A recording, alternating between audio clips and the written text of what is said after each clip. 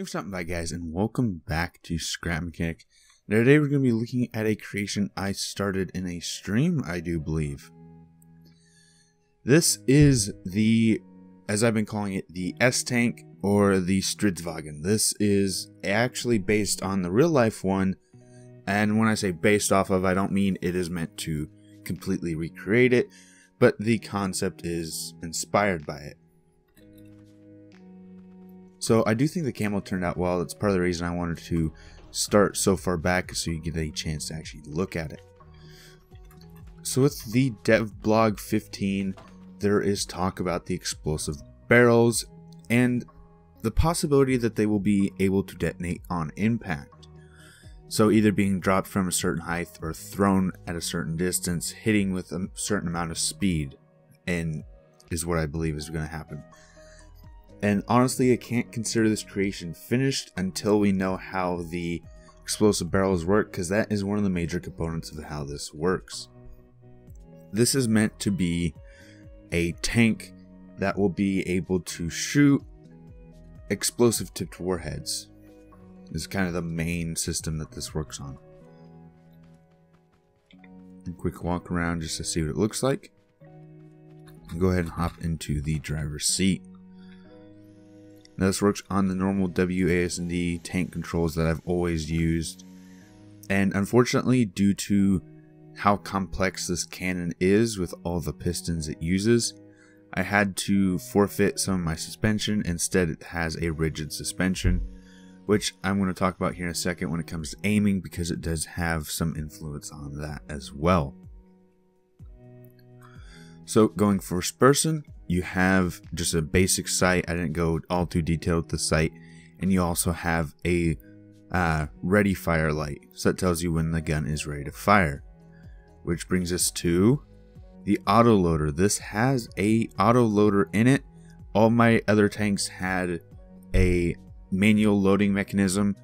Um, I usually couldn't put an auto loader in them because it needed for the all of the bullets to be basically bouncing around inside the gun. But with the ability to decouple objects with the spud gun, you can just make a clip of them here.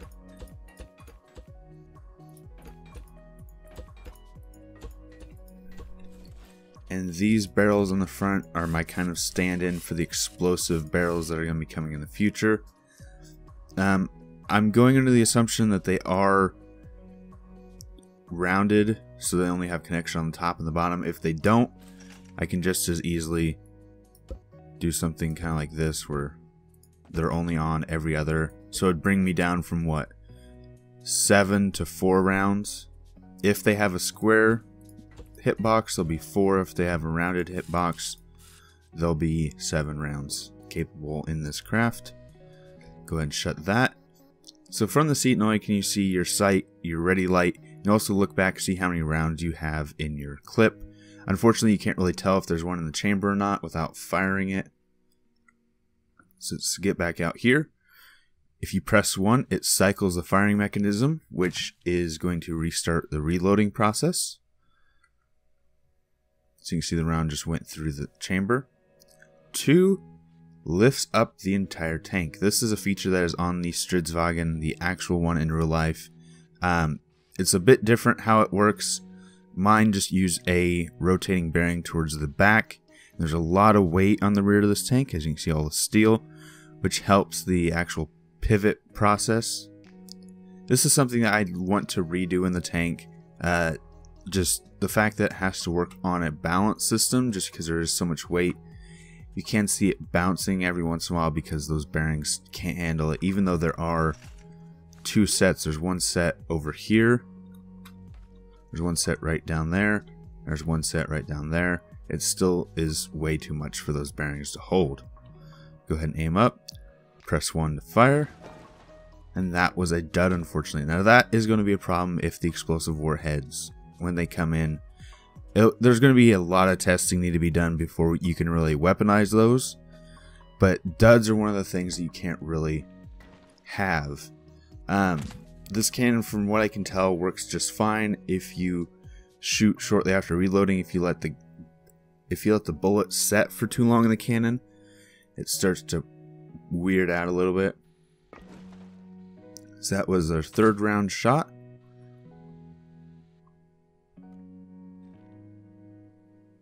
Fourth round. And you can actually hold the firing mechanism. There are a bunch of safety logic, I should say. There's a bunch of logic that prevents you from firing when it's not ready. There is another dud.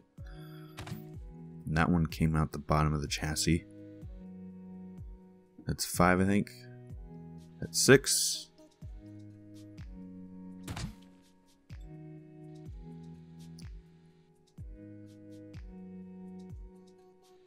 And that should be seven. Going here. Yep.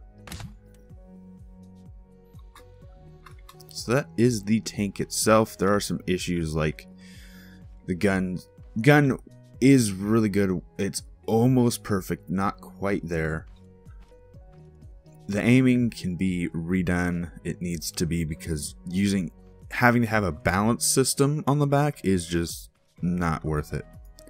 So let's see if I can find my gun. This. So this is the gun that is in the actual tank. There we go. Of show you how this works. So when you're in your seat up here up front, you pop the hatch, you put in your round of cardboard, you put the initial bolts. Now this can work with just these, or if you want you can just put the uh, stand-in explosive warheads in the front as well.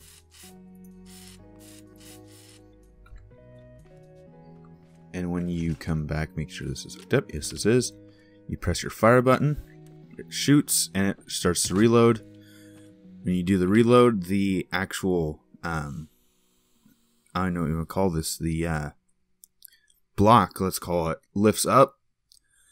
The magazine gets pushed in, drops one of the bullets, the magazine retracts, the bolt drops, and then the actual firing pin of sorts pushes forward clears the actual shell of the bolt because that was an issue. The bullets were trying to leave through the bolt.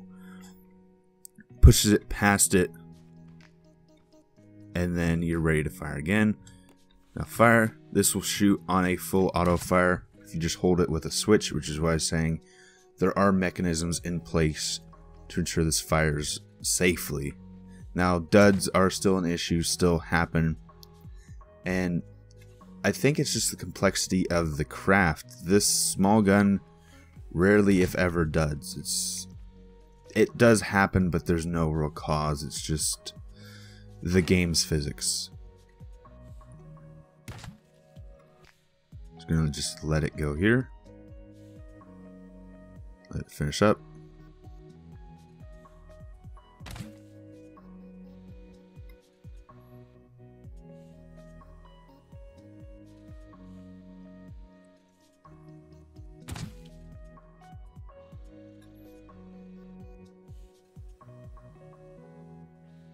There we go, that is the end of it.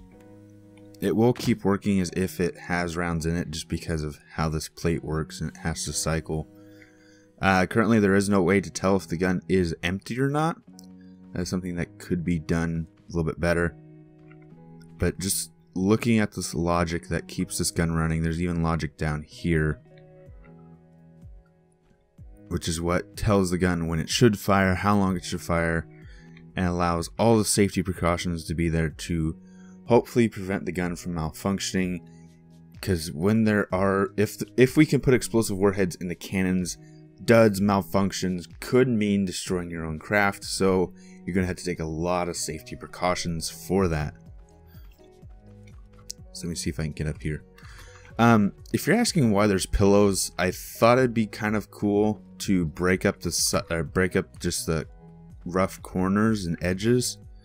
If you actually look at the real life Stridsvagn, those are actually uh, gas canisters or fuel canisters. There we go. Let's go ahead and open this up.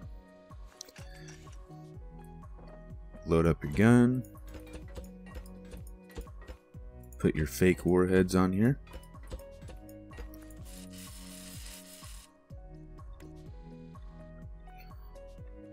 aim up a little bit, which the sight can't aim that far that easily. So you might have to just do a third person aiming, fortunately. Cycle the reload.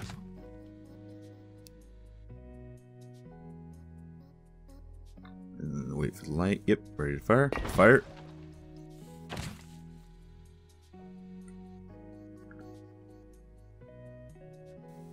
Wait for the light. Fire. That appears to be a dud, and we appear to have jammed the gun.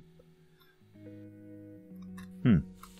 So the bolt actually, or the firing pin, as I've been calling it, went past the shell itself. Now there's still one in the chamber.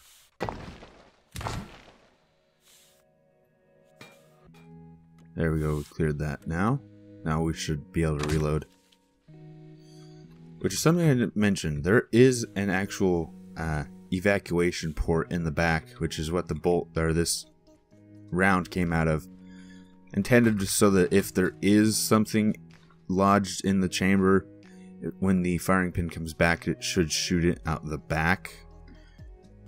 Um, but like I said before, until the explosive canisters, explosive barrels come out, I really don't know how they're going to function, and this is just off of what I think will happen. I this could just not work at all. It could work perfectly. We could have no issues whatsoever, or I could have to just throw this whole thing away. But anyway, I do really like it. I do really enjoy it, especially that seven round auto loader. Or technically, it's full auto. You can just hold it. It's just slow to do so. But I'm gonna end it here If you enjoy this episode, please leave a like. Any suggestions, leave them in the comments down below. Enjoy the channel, enjoy what I'm doing, please subscribe, helps a lot. And right now, shares help the channel the most, so if you do want to help the channel, please share this episode with a friend. Thanks for stopping by, thanks for sticking around, and until next time, peace.